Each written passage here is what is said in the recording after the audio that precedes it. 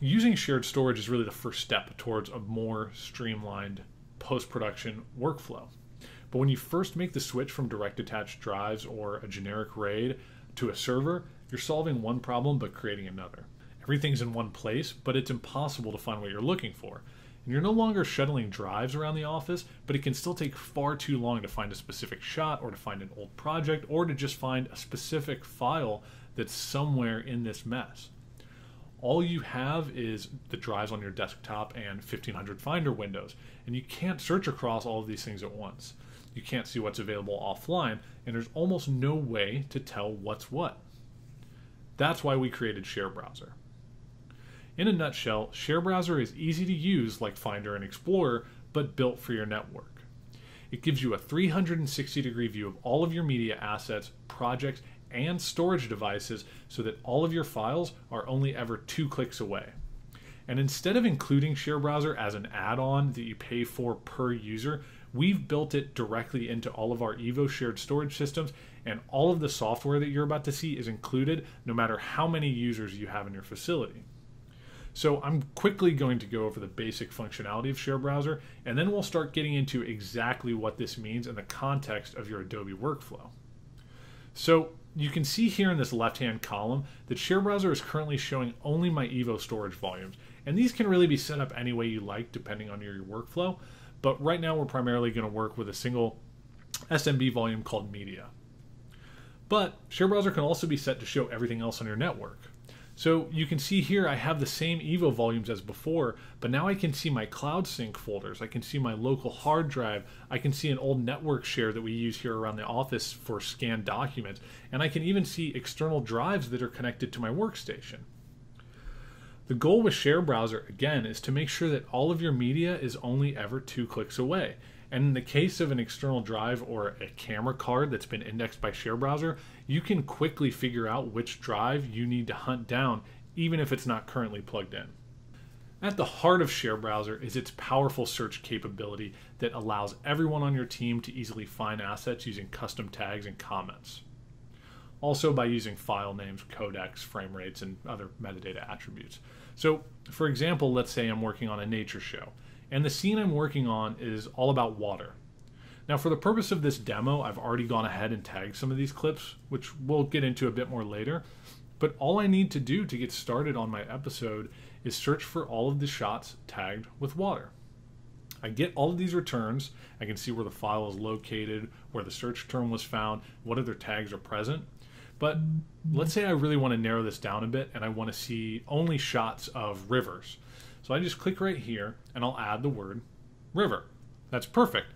So this search is even looking at external drives, local workstations, and basically anywhere else on the network that a file might be hiding. So let's say you've forgotten to ingest a folder from a drive. As long as it's been indexed by Share Browser, you can find it even after it's been unplugged and put back on the shelf. And one of the other great things about Share Browser is that it's integrated directly into Evo, like I said at the beginning that really opens up a lot of possibilities for interaction between the storage and the metadata that just aren't possible with other systems.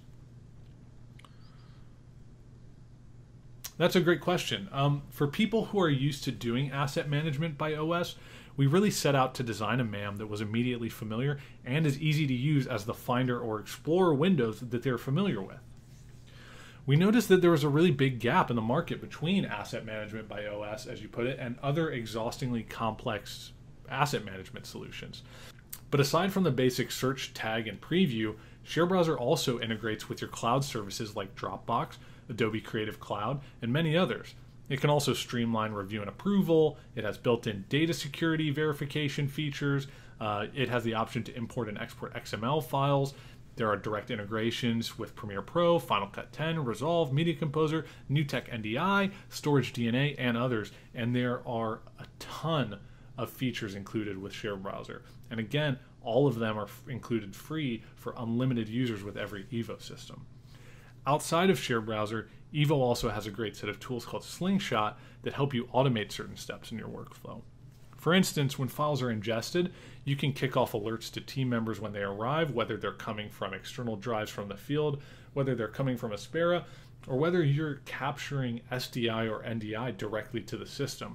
While those files are ingesting, Slingshot can also be used in a number of ways to automatically move files around your network and save you time on the repetitive file management tasks in your day to day.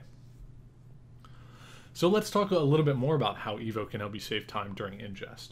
You know, one of the problems in a shared storage environment is that when you're copying files to a server, it wants to use up as much bandwidth as possible until that copy is finished. If I have a project going on and I need to work while I'm ingesting footage, instead of taking an extended coffee break, I'll just continue to work because Share Browser can automatically adjust the bandwidth allocation for my file copies, as you can see here. This frees up system resources so that the team can keep working while we're ingesting and we can keep the creative juices flowing without having to slow down every time we need to move something to the server. So once your files are ingested with Share Browser, you now have a couple of ways to start logging and organizing your media.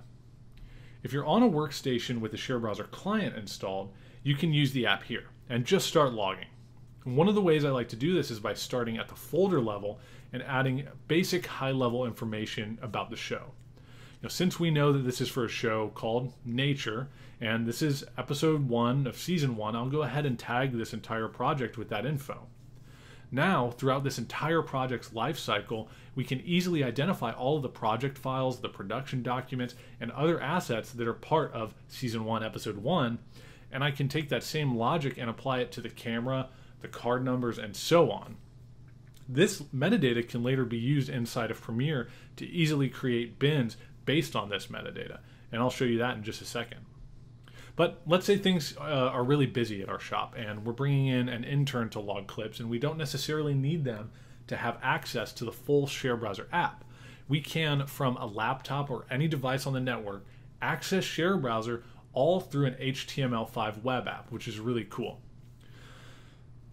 So let's log into the web app.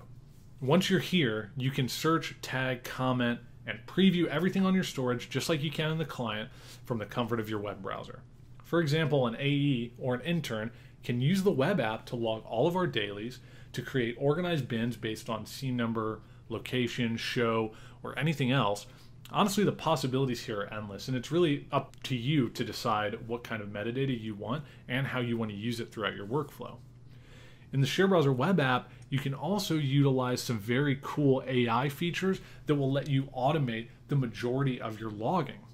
All you need to do is click this button and Share Browser will have all of your files analyzed for objects, scene, and activities and will automatically populate these descriptions in the tags field, drastically cutting down on the time it would take to say log an entire day's worth of shooting or catalog an entire archive of old project media and B-roll, which is something a lot of people run into when they first make the switch to using shared storage and media asset management software.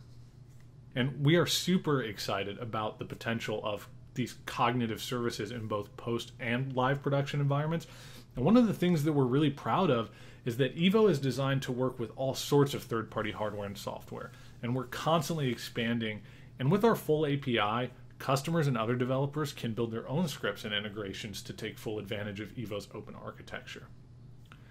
And one of the many benefits of working with a full service integrator like the fine people at Keycode Media is that they can work with our API as well in order to build out some custom integrations specifically for your environment. Right now, we're working with Amazon for object, scene, and activity recognition. And these tags are immensely valuable for getting 90% or more of your logging out of the way completely automatically. In creative editorial, the types of tags generated by uh, this object, scene, and activity recognition are extremely helpful when working on documentary style content like I'm demoing here.